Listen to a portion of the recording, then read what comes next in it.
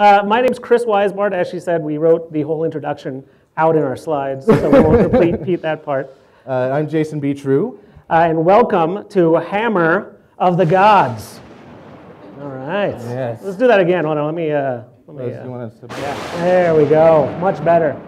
Be ready for a lot of this. Um, All right. so in this demonstration, we're going to tell you how to do something super, super useful. But uh, at the same time, we want to just state up front that this is also something that could seriously screw up a lot of things in your Canvas system. Yes. So please be wary. yeah. And yeah. uh, so, yeah, what is this? Especially all- because this is for non-coders. I mean, the, the whole idea is that we're going to tell you how to use the API without a lot of coding. Uh, but you, you should understand you could just destroy a bunch of stuff. So, you know, Right. Yeah, and yeah. so, yeah, what is this all about? Like Chris just said, um, we, we want to talk about ways that you can leverage the powerful Canvas API even if you don't have a ton of coding experience. Um, and by using the API, you can save yourself a ton of time and energy in Canvas. At the Pasadena City College, where we work, uh, we have an online model course program that had to grow super quickly. Uh, in this program, we have several model courses, and each of those had to be copied uh, into numerous sections multiple times per term. Uh, and we, as admins, had to do all that, which we don't like. Right, and so we figured this kind of repetitive process should be exactly the kind of thing that a computer should be able to do a lot more efficiently than we can, right? So, So we started out uh, using Unix shell scripting. I had some experience with that. That sounds very programmy, but uh, it was an easy way to use the API. But um, uh, in the last few months, we've learned about another easier way to utilize the power of the API through a series of apps inside the Chrome browser. So this is what you'll need to do everything we're going to talk about today. And Chris is going to do a live demonstration later where, where he'll touch on all these things. But basically, it's access to a Canvas system, obviously, um, Google Chrome, uh, Google Docs, and Postman, which is an app that's available in the Chrome Web Store. And Postman is, uh, has a free version, but if you do a $9 upgrade, you're able to automate uh, pretty much the entire interface. And so this is where, without a lot of programming skill, you're going to be able to do multiple things multiple times. So yeah, um, first, before we go further, we, we keep using the acronym API. Um, so I just wanted to quickly define that for anyone who may not be familiar. As the slide says, uh, API stands for Application Programming Interface. So for lack of a better definition, one way we think of it is it's basically an opening in a piece of software that makes it possible to easily interact and share data and perform functions inside that software. For instance, uh, when Yelp needs a map of the restaurant or bar you're looking for, they're actually using the Google Maps API to create and display that map data, and then wrapping their terrible map interface around it. And that's, that's why you always take the link for the address and paste it into Google Maps. And so that's, that's an example of an API use. Right. Um, uh, similarly, uh, at least the last we heard, the Canvas mobile app is actually built entirely using the Canvas API. And the entire interface of the Canvas mobile app is constructed using API calls. So you see this is a very powerful tool that allows you to do pretty much everything in Canvas through sending text commands instead of using the graphical interface. So uh, the same way the Ca- Canvas graphical interface requires a username and password, you need something similar in the API. Uh, this is called an API token or key. Uh, to use features we're talking about, you're also going to need admin rights. Uh, so talk to your Canvas administrator if you don't have those. You're going to need to have the right privileges in order to copy courses. So, uh, so to get your key, I'll do a really quick demonstration and then we can talk about this later if there's time. You log into your account. You access your account page by clicking uh, your name in the upper right corner. Uh, and then you'll click the new access token button on this page. And then Canvas will ask, ask you a purpose and an expiration date. The purpose is really just a, a tag so you know why you're using this. Uh, you don't have to set an expiration date. Uh, if you don't, then it never expires, but it might be good practice to create an expir expiration date. And again, we'll demo this. Uh, uh, step two, did we not have? Uh, Oh, did we skip? step two is access your user settings. On the, on the user settings page, and we'll try Yeah. to pull this up later so you can see it in the full Canvas system. Yeah. But there's going to be a button if you scroll down on that page that just says New Access Token. Yes. Click that button. No, it's all right. No problem. We go a little fast. We're going to slow it down a little bit. Half hour is a tough, uh, you know. It's all right, yeah. So uh, once you uh, hit that generate token button, it'll give you this, a page that looks like this. Uh, don't take photos of my access code. uh, the, uh, yeah, so, uh, so basically you're going to have this access token. You want to copy it and keep it somewhere safe because you can't find this ever again. Sorry, Jason. No you can't find this ever again in the Canvas interface. Um, you, want to, you want to store it somewhere, and otherwise you have to regenerate another one. Yeah. And just to reiterate what Chris said earlier, um, the, the permissions are what you'll be able to do using this access token. It matches exactly with your account privilege, the privileges of your Canvas account. So if you want to do administrative functions like we're going to demonstrate, you will need an admin level account. Okay. Okay. Okay, so here's where things get super fun.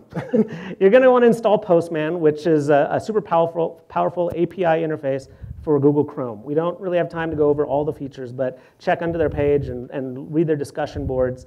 Uh, you find this in the Chrome Web Store, and if you can't find the Chrome Web Store, do a Google search for Chrome Web Store, and then do a search for the Chrome, in the Chrome Web Store for Postman. And hey, this is for non-coders. I just want to cover all the bases.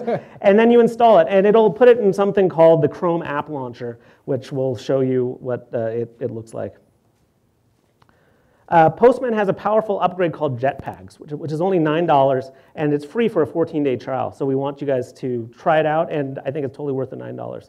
Uh, the Jetpacks add-on lets you do a number of things, but what we're talking about today is you're able to perform a one action over a number of different times. For instance, uh, we're going to copy the content of a course over and over again to a number of different sections. Okay, so um, in order to use the Canvas API to talk to a specific course in Canvas, you need the unique course identifier. And you can find this identifier at the end of uh, the URL of every Canvas course. So, so you notice there, those uh, six digits right there, that is the unique uh, course URL code that you'll need for each course you want to do things to. Mm -hmm. Okay, so if you want to work on multiple courses at the same time, you need to give the Postman application a list of the URL codes for each of these courses. So we use Google Sheets to do this. You actually do have to use Google Sheets. Excel does not work, and we can explain why later uh, if you're interested. Um, and, and, Chris is going to go over all this in, in, in a live demo in, in, greater detail in a minute. But uh, basically, you create a new Google spreadsheet. Uh, in the very first entry, in the first column, you, you provide a label which will actually act as a variable, and we'll get into that. But in this case, we use the label course, and then beneath that label, we list the URL codes for each one of the courses we want to impact, essentially. Okay? And so once you've completed your uh, spreadsheet of courses, you need to download uh, the, the Google spreadsheet as a CSV file and save it to your computer, which you can just do through file download as comma separated values. Okay, so now we have all the pieces. You have Postman with Jetpacks installed. You have a list of course codes in .csv format. And we're going to provide you with our Postman file that we use to bulk copy courses. So please take photos of this. um, uh, so, uh, and also don't forget, and I'll reiterate this at the end, uh, uh these URL shorteners are case sensitive. So you got to use the right uh, capitalization. And we'll also have this slide up at the end too, if you guys need to. Uh, also, I have to tell you, uh, this is, um, you know, there's no warranty on this. we are distributing this in the hope that it will be useful. No real or implied warranty, blah, blah, blah. Use it at your own risk, and don't blame us if you destroy all your courses in, uh, in one shot. All right. So, we believe it's time to unleash the hammer. Mm -hmm, Sound effect, please. Mm -hmm. Sorry. Yeah. Oh, wait, went too far. No. There it is. Oh, one more time. yes. Okay. All right, so we're going to switch this up over here, and we're going to walk you through uh, everything, everything we can in time.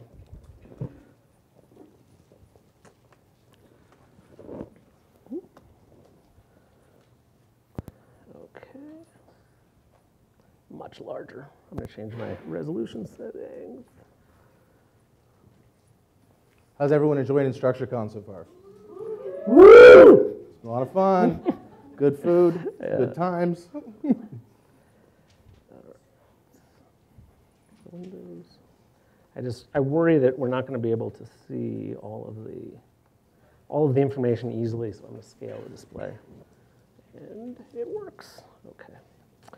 All right. So, um, so when you install Postman, it puts it in a couple places. Uh, the app launcher, which is, it depends on which version of, of Mac OS, uh, OS X you have. You can, it'll might be a little icon down at the bottom. I go up to this icon and click on apps, and there's Postman in there.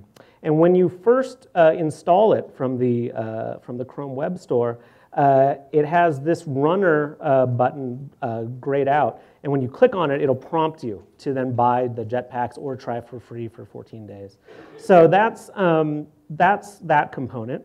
And then what we're going to do is we're going to download uh, the file from that uh, Google uh, Drive item that we gave you, and we're going to go to import in Postman.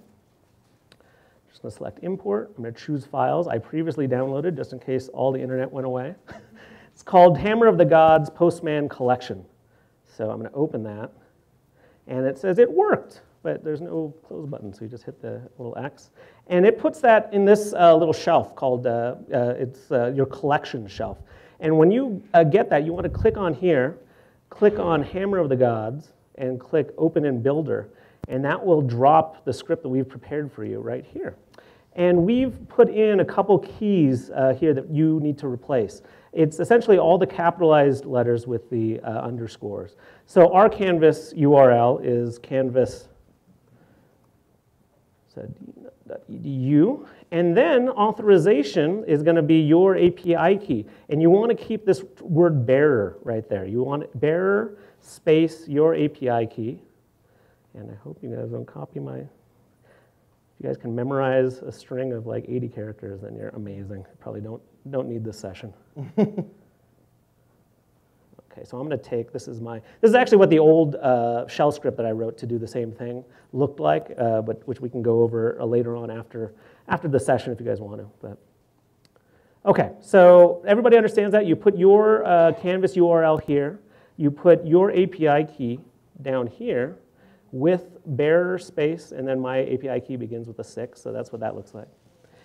And then you go to the body a tab, and in the body there's an, area for the source course ID. And magically, I have a Canvas course with my, the course that I want to copy, which is called Test Course Weisbart, very creative name. Uh, I'm going to copy the URL code, course code from this. And so we're going to say, I want to copy this course into a number of different courses. Yes? Everybody get that? Yeah. Okay. Well, we can, well, well, we can walk, work one on one if you don't. Okay, so I'm going to put the course code for the Canvas course I want to copy from into here. And then I want to save this. I'm going to hit save button over here. So you changed a total of three things, right? Exactly. So the first thing I changed was our URL uh, for Canvas, for our Canvas installation. Uh, we're going to change our, uh, our, our token, which uh, we generated by going to, this is the question you asked before, if we click our username in Canvas and we go down, we can click the new access token button. And here's where I put a purpose. Um, registration, I'm to have it expire uh, today at 2.33. Uh-oh. And PM, done. And then I'm gonna click generate token, and ta-da, here is my token. Okay, so I am gonna take that, that's uh, what I should have, I guess, pasted into here, but I'm not gonna paste that because now that expired. So I have my, uh, my, my token in here, and I'm gonna go now to Google Spreadsheets, and I'm gonna copy some uh, URL course codes. Let me delete, this is the one we did to test our, our presentation. So uh, first we're going to use the word course as our, as our label for what we're going to do. And we're going to go, I've prepared a number of courses in Canvas that are just empty courses. They're called API course copy test one through three. And I'm going to grab that URL code again. SMS code?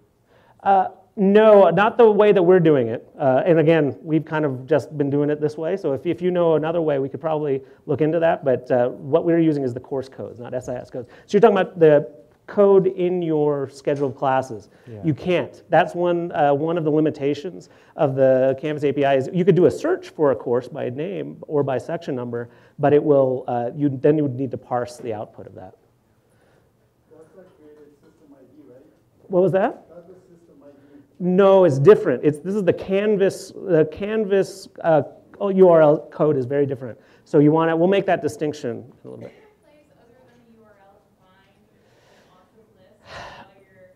We don't know how to do that. Like I said, what you could do is you could generate, you could make an API call and then parse all the stuff that gets back. You know, you can download Yeah. reports. So you can, Yeah. and then you can kind of remove it, search and replace uh, in an Excel, uh, in an Excel document. Yeah. Yeah. Yeah. Yeah. Okay, so I'm sorry. So I'm going to copy these in, and uh, so in each one of these, I am going to take the next URL code, drop them in my Google Doc. It's a good idea for an app, though, if somebody- somebody is a developer, would be something you can run on your system that would translate SIS codes into Yeah. URL course codes. Sure. And I'm sure you have the power to do that. We can only speak to what we, we've Yeah. done. And so, uh, okay, so now I have my sample of the three courses I want to copy stuff into. I have that in my Google spreadsheet. I have this word course in the first column. Now I'm going to download this as a .csv. Uh, so download as, comma, separated values. Click that, drops it in my downloads area. And this course label, gets a little confusing why you would need that, but let me show you. Uh, what a Jetpacks does in Postman is it allows you to take uh, any part of the Postman interface and use two curly braces around a word, and then you can go through and uh, substitute things. So it, it acts as a variable, as Jason had said in the presentation. So by using, I could name this anything, and as long as I change in the spreadsheet whatever that label is, and, uh, and I can go through and iterate through and replace it. So it's pretty cool. The Jetpacks thing for nine bucks, not a bad thing. So I already saved this with all the new data. Let me show you how to import that .csv file. We're going to go to the uh, collection shelf. We're going to select Run. And then uh, in this, uh, in this uh, interface that pops up, you're going to select Choose File. And I just downloaded this uh, course code sheet, and I'm going to open that. And when you're able to do that, you're able to hit Preview Data, and it shows three iterations with the appropriately labeled course. And uh, we want to change, it doesn't, one thing it doesn't do is it doesn't give you, put the iterations in automatically, so you just have to change that to three. So that's a real important step because uh, you only will do it one time if you leave that as one. So we've done, I mean, our course, uh, one, one course maybe gets copied to 30 sections, you know, like, uh, yeah. And I've actually, I've done that with the shell script more than I've done it with Postman because that's what we were using before. And that uh, it's, is very fast. And so that's, again, uh, very dangerous. so you gotta make sure, we're gonna say this a hundred times, make sure that course you wanna copy in is the, uh, is the right one because going through and, and deleting that stuff is, a, I mean, you can use the API to go through and bulk reset courses, but then the URL code changes. So that's one, uh, and we'll go over that at the very end too. Okay, so I chose my file, I looked at how many iterations I had, I set it to three, and then uh, I hit the start test run. And you're going to get three different messages that happened so fast you couldn't see it, but it said OK three times. And now when I go to uh, those Canvas courses that I had, the API course copy, and if I go to the, I can view the content migrations in the uh, course settings page. Uh, you can see uh, we're pre-processing. For each one of these, we're pre-processing a course move. So I'm going to go to all these just to prove to you guys, because I know you doubt me. so all three of these are now pre-processing, and uh, after a while, uh, if their internet works, I, there was nothing really in that other course, but you, you, you have copied the contents into that course. All right, questions, lots of them. Go for it. Sorry. No, three, I guess I, this might be a dumb question. no, no dumb. If I just have one course that I want to copy 30 times, Uh huh. are you creating like blank courses and then importing, or can I just copy? I guess I'm confused if you're importing or if you're just creating copies. No, so we're not co- creating copies. We're importing into you now have the feature. So when we started this, there wasn't that course copy feature where you're just able to kind of copy the course numerous, numerous times. But this was uh, this is more. We need we have a certain content in this course, and we want to push this out to 30 different existing courses. Our SIS uh, course loads create all the courses already for us, so we can't use that tool. So we are automatically generated like oh, this model course has like a dozen courses under it. And so we're pushing that one model course content to those 30 courses.